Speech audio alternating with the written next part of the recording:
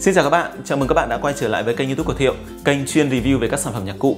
À, Có rất nhiều lần mà mình đăng thanh lý lại những cây đàn organ hay những cây đàn piano đã qua sử dụng. À, Mặc dù là cái mức giá cũng rất là rẻ Nhưng à, rất nhiều cây đàn mà mình thanh lý ấy, thì có một cái ngoại hình à, rất là đẹp. À, Thậm chí là có những cây còn rất là mới Cho nên là có nhiều bạn à, thắc mắc với mình là không biết là mình đã làm cách nào à, để giúp cho những cái cây đàn à, trở nên nó đẹp như vậy.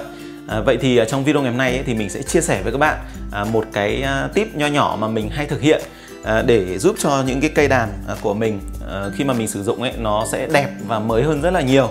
Thực ra thì cái tip này cũng rất là đơn giản thôi, đó là các bạn hãy thường xuyên vệ sinh và bảo dưỡng lại cho cây đàn của các bạn.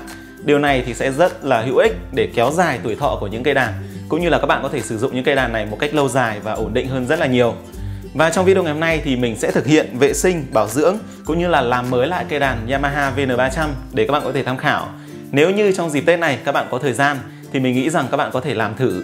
Mình tin rằng nó sẽ rất là hiệu quả. Như các bạn có thể nhìn thấy thì đây là một cây đàn cũ mà mình mua lại thanh lý của một chị phụ huynh. Cây đàn này thì chị mua cho con ờ, nhưng mà gần như là không sử dụng đến à, tuy nhiên ấy, thì các bạn có thể nhìn thấy này do lâu ngày không sử dụng cho nên là những cái bụi bẩn nó đã bám vào trên cây đàn này. Đấy, các bạn có thể thấy là trong những cái kẽ của phím đàn nó có rất là nhiều bụi. À, thậm chí là ở trong cái vần loa này cũng vậy này. Đó, à, cho nên là nếu như chúng ta mà cứ vậy sử dụng mà chúng ta không vệ sinh lại cũng như là không bảo dưỡng lại cho cây đàn này ấy thì mình nghĩ rằng nó sẽ không sử dụng được lâu dài đâu. Và để vệ sinh cho cây đàn này thì chúng ta sẽ cần phải chuẩn bị một vài những cái dụng cụ. À, Đầu tiên ấy là chúng ta phải có một cái tô vít để có thể tháo cái cây đàn này ra à, Tiếp theo thì các bạn hãy chuẩn bị một cái khăn để có thể lau những cái bụi bẩn ở trên cây đàn. À, Cũng như là các bạn hãy chuẩn bị một vài những cái chổi quét bụi như thế này. Đây là những cái cái chổi sơn mà mình đã chuẩn bị sẵn. À, Ngoài ra nếu như ở nhà các bạn có một cái máy hút bụi đây như thế này thì sẽ rất là tuyệt vời. Đây mình chuẩn bị ở đây một cái máy hút bụi này. Còn nếu như nhà các bạn mà không có máy hút bụi ấy, thì các bạn có thể chuẩn bị một cái máy sấy tóc chẳng hạn để có thể thổi những cái bụi bẩn ở bên trong cây đàn đi. À, và sau đây chúng ta sẽ cùng nhau thực hiện nhé đầu tiên thì các bạn hãy tháo cái đàn này ra trước nhé chúng ta sẽ tháo, lần lượt tháo những con con ốc ở phía sau của cái đàn này.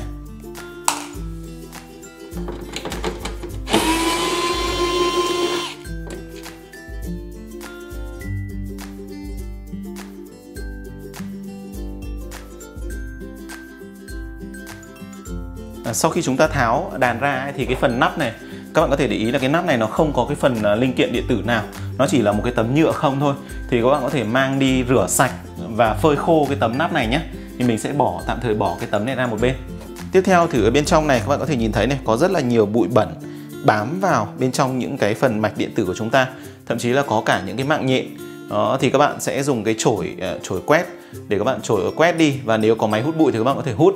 Hoặc là nếu có máy sấy tóc thì các bạn thổi để nó bay hết tất cả những cái uh, mạng nhện những cái bám bẩn bám ở trên uh, những cái mạch điện tử này các bạn nhé.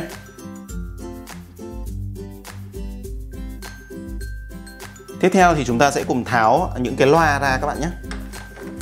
Bởi vì thường ấy, ở cái phần loa của chúng ta nó sẽ hay bị bám bụi vào rất là nhiều đây các bạn có thể nhìn thấy này những cái phần màng loa của chúng ta nó bị bám ờ, rất là nhiều bụi ở đây. Đấy, thì các bạn ờ, sẽ dùng máy hút bụi để hút. Cả bên loa này cũng vậy.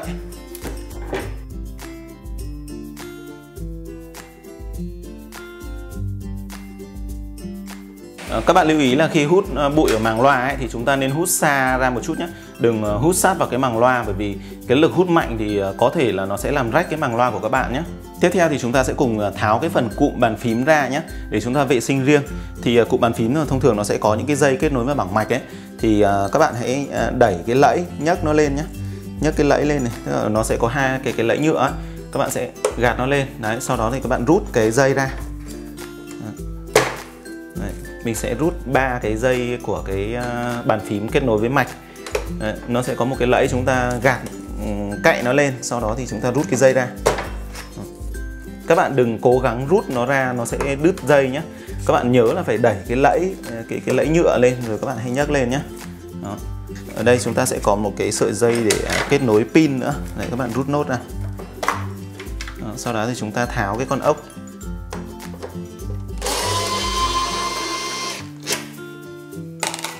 và chúng ta có thể nhấc cái bàn phím này ra. Ờ, đối với những cây đàn ấy mà nó có cái phần màng loa mà chúng ta có thể tháo ra được ấy, thì các bạn nên tháo luôn cả màng loa để vệ sinh luôn nhé. Đây mình sẽ ờ, tháo cái ờ, màng loa của cây VN300 này ra.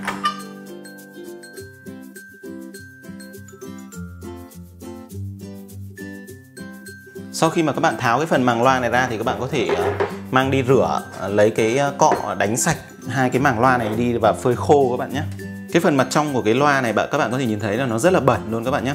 Đấy thì các bạn sẽ tiếp tục là hút bụi và vệ sinh lại cái phần à, mặt loa này.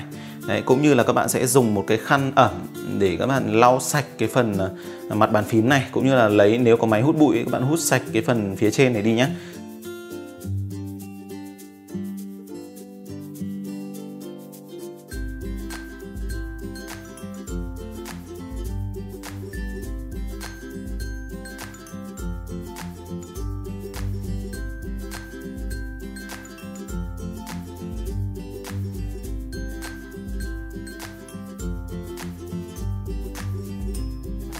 Trong quá trình mà các bạn vệ sinh đàn ấy mà có một vài cái vị trí mà cái vết bẩn nó cứng đầu quá ấy, thì các bạn có thể sử dụng một chút cana như thế này đó để chúng ta sẽ chấm vào một ít và chúng ta vệ sinh ấy thì nó sẽ đánh bay được những cái vết bẩn cứng đầu các bạn nhé Như vậy là về cơ bản thì cái mặt phía trên của cây đàn mình đã vệ sinh lại sạch sẽ rồi. À, tiếp theo chúng ta sẽ vệ sinh những phần còn lại. Đối với những cây đàn mà nó bẩn ít ấy, thì chúng ta chỉ cần à, hút bụi vệ sinh lại cái bàn phím thôi. Tuy nhiên thì cây đàn này thì các bạn có thể nhìn thấy này, nó quá bẩn này và nó có quá nhiều bụi ở bên trong. Đây cả bên phía mạch phím này các bạn có thể nhìn thấy rất là nhiều bụi. Thì à, mình sẽ phải tháo lại, tháo hết những cái phím này ra nhé. Và mình sẽ rửa sạch cái phím đi. Cũng như là mình phải vệ sinh cả cái phần mạch à, phím ở bên trong nữa.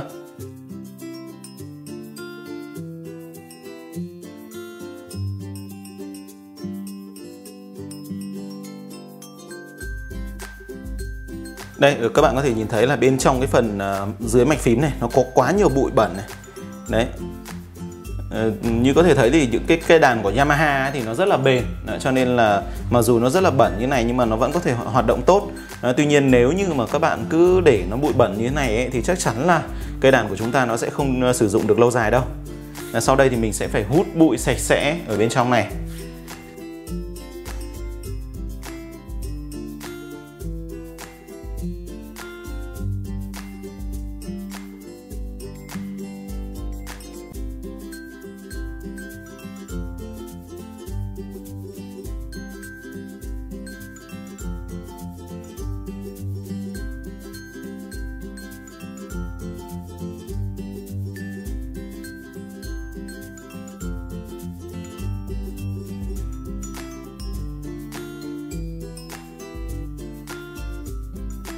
Các bạn có thể nhìn thấy thì trước khi vệ sinh ấy thì à, những cái à, mạch của chúng ta rất là bụi bẩn kinh khủng ở bên trong.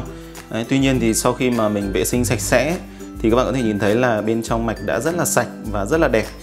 Sau khi mà mình rửa sạch và phơi khô cái à, phím đàn như thế này đấy, thì phím của chúng ta đã rất là sạch rồi. Thì mình sẽ tiến hành mình lắp lại bàn phím lại như cũ. Đây ở cái phần mạch bàn phím mình đã vệ sinh lại sạch sẽ nhé. Nhìn rất là sạch luôn. Ờ, thì chúng ta sẽ à, lắp cái à, phím đàn vào.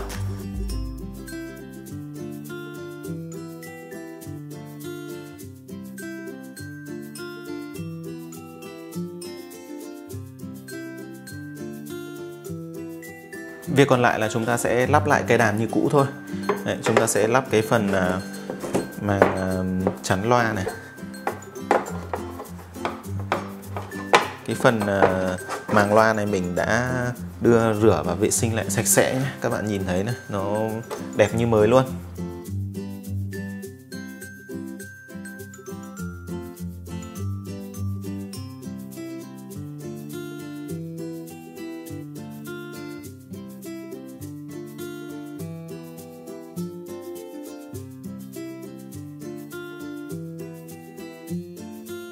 Và công đoạn cuối cùng là các bạn hãy cắm nguồn điện và ờ, test thử xem là cái đàn của chúng ta, những cái phím bấm của chúng ta đã hoạt động ổn định chưa nhé.